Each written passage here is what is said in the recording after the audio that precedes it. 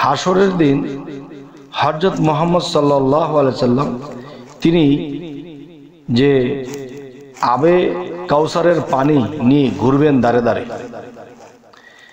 আবে কাউসারের পানি নিয়ে দাঁড়ে দাঁড়ে ঘুরবেন, তাহলে এই যে বিষয়টি, এটি কি বোঝানো হয়েছে? দেখেন, পানির সাথে জ্ঞানের তুলনা করা হয়েছে।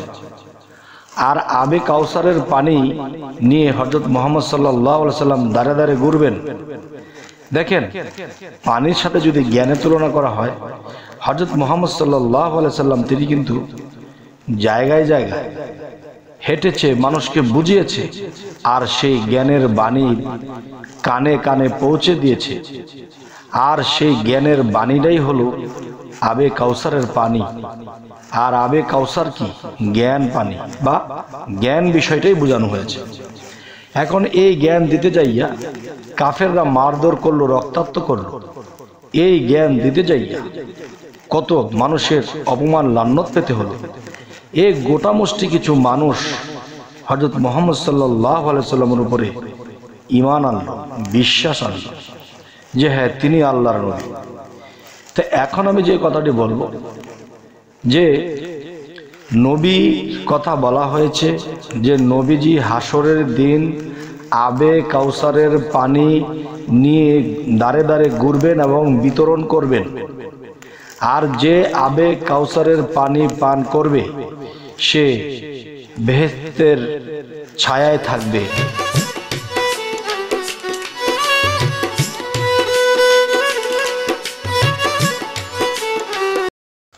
বিসমিল্লাহ রহমান রহিম। হে সমস্ত জগতবাসী আজ আমি স্বামী মালি চিস্তি আপনাদের সামনে নতুন একটি আলোচনা নিয়ে সে আলোচনাটি হলো, দেখুন, এই পৃথিবীর যত মুসলমান আছে, তারা একটা কথা বলে থাকে, একদিন হাসরের মাঠে আমাদের উঠতে হবে হাসরের মাঠে যেতে হবে। আচ্ছা হাসর মাঠ যে কথাটি বলা হয়, যে এর বর্ণনা এবং এর যে রচনা বা এর যে কিছু বিষয় তুলে ধরা হয়েছে হাদিসে, সেটা হলো দেখুন হাসরের দিন কেউ কাউকে চিনবে না। সেখানে মা ছেলেকে চিনবে না, বাবা ছেলেকে চিনবে না, ছেলে বাবাকে চিনবে না, নাতি দাদাকে চিনবে না, দাদি তার নিজের প্রাণ প্রিয় সন্তানকে বা নিজের কোনো আত্মীয়কে চিনবে না। তাহলে এই যে বিষয়টি যে চিনবে না কেন আর না চেনার আরেকটা বিষয় সেটি কোথায়? সেটি হাসরের মাঠে। তাহলে আমি এই বিশ্ববাসীর কাছে আমি একটা প্রশ্ন রাখব। এই বিশ্বের সমস্ত মুসলমানের কাছে আমি প্রশ্ন রাখব। আর সেটি হলো যে যারা মুসলমান এবং এই হাদিসগুলো যারা মানে আমি তাদের কাছে বলব যে দেখেন, হাসর শব্দের অর্থ কি? হাসর মাঠ মানে মরুভূমি, মরুভূমির মাঠ। তাহলে এখন কথা হলো যে আমরা যেখানে বসবাস করছি, যে এই মাঠের মধ্যে দেখা গেছে একটা সময় বাড়িঘর যখন ছিল না, আর এটাই কিন্তু মাঠ, কিন্তু এখানেই কিন্তু সেই হাদিসে কি বলা হয়েছে? যে মা ছেলেকে চিনবে না। দেখবেন যে মা এত মায়াশীল, এত দয়াশীল হয় সন্তানের জন্য। সেই সন্তান মাকে চিনবে না, মা সন্তানকে চিনবে না। দেখেন পৃথিবীতে কিন্তু এমন কোনো ঘটনা ঘটেছে যে মা তার সন্তানকে মেরে ফেলেছে। কেমন করে? যে স্বার্থের জন্য আমার এই ছেলেটি বেঁচে থাকলে আমি হয়তো ভালো থাকব না বা এমন কিছু ঘটনা আছে তাকে না মেরে ফেললে আমি অন্যজনের ঘর সংসার করতে পারব না। মানুষ জেনে ফেলবে যে আমার একটা সন্তান ছিল। এমনও হতে পারে যে সে এমন একটা ব্যাকআউটের মধ্যে পড়ে গেছে।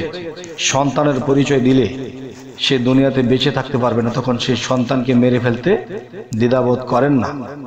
এবং এমন ছেলে আছে, মাকে মেরে ফেলেছে। যদি চিনত, যদি মায়া থাকতো বা চিনত, তাহলে কিন্তু তার মাকে সে মারতে পারতো না। তার মানে বোঝা গেল কি? যে মা সন্তানকে চিনবে না, সন্তান মাকে চিনবে না, সেটি কোথায়? সেটি হলো হাসরের মাঠে। তাহলে হাসরের মাঠটি কোথায়? দেখেন, দুনিয়াতে চলতে গেলে অনেক ঘটনা ঘটতেছে। বাপ ছেলেকে মেরে ফেলেছে, ছেলে বাবাকে মেরে ফেলেছে, দাদাকে মেরে ফেলেছে, নিজের মাকে মেরে ফেলেছে, তাহলে বোঝা গেল কি? হাসরের মাঠ কোথায়? আর হাসরের মাঠেই তো এগুলো ঘটবে। তবে দুনিয়ার মাঠে যেগুলো ঘটবে কথা তো বলা হয়নি। আচ্ছা আরও একটি বিষয় হলো দেখুন, হাসরের দিন হজরত মোহাম্মদ সাল্লাহ সাল্লাম, তিনি যে আবে কাউসারের পানি নিয়ে ঘুরবেন দাঁড়ে দাঁড়ে। আবে কাউসারের পানি নিয়ে দাঁড়ে দাঁড়ে ঘুরবেন। তাহলে এই যে বিষয়টি, এটি কি বোঝানো হয়েছে? দেখেন, পানির সাথে জ্ঞানের তুলনা করা হয়েছে। আর আবে কাউসারের পানি নিয়ে হজরত মোহাম্মদ সাল্লাহ সাল্লাম দাঁড়ে দাঁড়ে ঘুরবেন।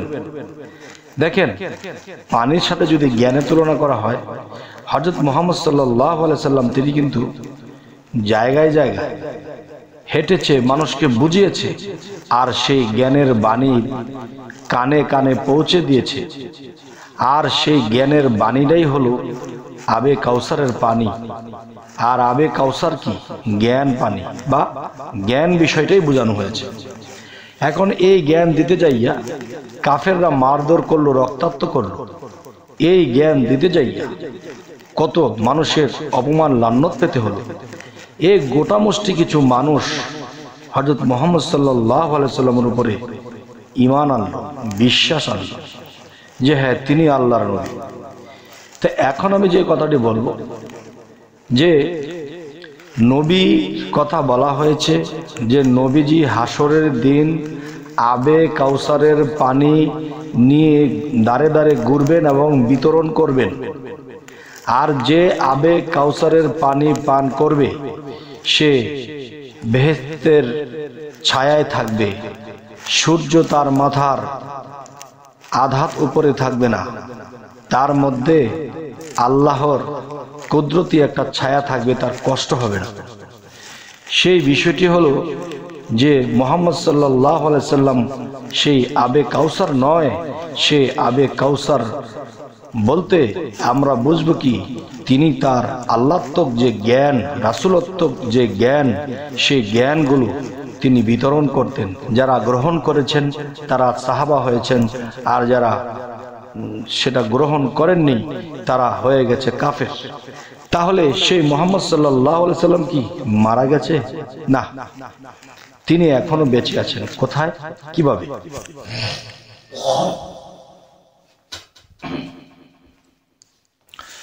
তিনি এখনও বেঁচে আছেন সেটি কীভাবে কোথায়? যে তাওহিদেরই মুর্শিদ আমার মোহাম্মদের নাম। যে এই মোহাম্মদ সাল্লাহ সাল্লাম তিনি অলি আউলিয়া, কামেল মুর্শিদের মধ্যে বেঁচে আছেন। যে ডিউটিগুলো নবী রাসুল যারা করে গেছেন, আর সেই ডিউটিগুলো এখন অলি আউলিয়া, কামেল পীরেরা করতেছেন এবং হজরত মোহাম্মদ সাল্লাহ সাল্লাম দাঁড়ে দাঁড়ে ঘুরে যখন আবে কাউসারের পানি পান করাইয়াছিলেন মানে সেই জ্ঞান দিয়েছিলেন, সেই জ্ঞান সেই আবে কাউসারের পানি বর্তমান কামেল মুর্শিদ তাদের ভক্তদেরকে খাওয়াচ্ছে। যারা এই লাইনে আসবে তাদেরকে খাওয়াচ্ছে। যেই জ্ঞান পানি যদি নিজের মস্তিষ্কে ধারণ করতে পারে, তাহলে সেই ব্যক্তি কোনো একদিন আল্লাহর বান্দা থেকে বন্ধুতে পরিণত হয়। আর আল্লাহ এটিও বলেছে কোরআনে আমার বন্ধুদের কোনো ভয় নেই, তারা কখনো চিন্তিত হবে না। তাহলে বোঝা গেল কি? হজরত মোহাম্মদ সাল্লাম, তিনি যদি আল্লাহর প্রাণ প্রিয় প্রিয় বন্ধু হয়ে থাকে, তাহলে দেখা যায় তিনি শ্রেষ্ঠ এবং বড়। তাহলে ছোট বন্ধু তো পৃথিবীতে আছে। সেই ছোট বন্ধুই হলো অলি আউলিয়া কামেল মুর্শিদ যারা আছেন। যাই হোক, এই সমস্ত জগতবাসী আজকের এই আলোচনাগুলো কেন করতেছে? যে আমরা একটা জিনিস জানি, হাসরের দিন কেউ কাউকে চিনবে না। সেটা কোথায়, কীভাবে চিনবে না, সেটাও কিন্তু বলা হলো। এবং হাসরের দিন নবীজি আবে কাউসারের পানি নিয়ে দাঁড়ে দাঁড়ে ঘুরবে। যারা এই পানি খাইবার যোগ্যতা আছে, তারাই খাবে। আর যাদের যোগ্যতা নেই, তারা খেতে পারবে না। তাহলে বোঝা গেল, এই পৃথিবীতে কামেল মুর্শিদ যারা আছে এই কামেল মুর্শিদের কথা কিন্তু আল্লাহ বলেছে কোরআনে সুরা কাহাফের সতেরো নম্বর আয়তে, যারা আমার মুর্শিদকে ধরলো না, বুঝলো না, মানলো না, তারা পথভ্রষ্ট। যত ইবাদতই করুক, তাদের মুর্শিদ ধরতে হবে। এবং যে কথাটি বলতে চাচ্ছি, যে আবে কাউসারের পানি হজরত মোহাম্মদ সাল্লাহ সাল্লাম পান করিয়েছিলেন, তাহলে সে আবে কাউসারের পানি এখন এই হাসরের মাঠে বা এই দুনিয়ার মাঠে কে পান করাচ্ছে? অলিয়া উলিয়া একজন কামেল পীর, তাদের ভক্তদের আশেকদের খাওয়াচ্ছে সেই জ্ঞান পানি খেয়ে কিংবা সেই জ্ঞান নিজের মস্তিষ্কে ধারণ করে তারা উচ্চ জ্ঞানে জ্ঞানান্বিত হচ্ছে, আল্লাহর বন্ধুতে পরিণত হচ্ছে। তাই আল্লাহ কি বলেছে? তুমি যদি একটা মিস্ত্রির সাথে শ্রম দাও, কাজ করো, চলো ফিরো। তাহলে তুমি একদিন সেই মিস্ত্রিতে পরিণত হবে। তুমি যদি কোনো মাওলানা সাহেবের সাথে চলাফেরা করো, একদিন মাওলানা হতে পারবে। তুমি যদি কোনোদিন একজন কামেল মুর্শিদের সাথে, আমার বন্ধুর সাথে তোমরা ওঠা বসা করো, শিক্ষা নাও, তাদের সাথে একযোগে চলো, মানো, তাহলে তোমরাও একদিন সেই আমার বন্ধুতে পরিণত হবে। সোবাহান আল্লাহ আল্লাহ বলেছেন, আমার বন্ধুদের কোনো ভয় নেই, চিন্তিত হবে না তারা। তাই বলব, হে সমস্ত জগতবাসী আজকের এই আলোচনাটি আমি কি বোঝাতে চাইলাম? অবশ্যই অবশ্যই আমি ভেঙে বলার চেষ্টা করেছি। তো আসলে আপনারা কি বুঝলেন, এটিও কিন্তু আমাকে জানাবেন। এবং সামনে কি ধরনের আলোচনা চাইছেন তাও জানাবেন। সকলে ভালো থাকবেন, আমাদের চ্যানেলটিকে সাবস্ক্রাইব করে রাখবেন, যাতে করে আপনাদের পাশে থাকতে পারি। সকলেই ভালো থাকবেন। আল্লাহ হাফিজ।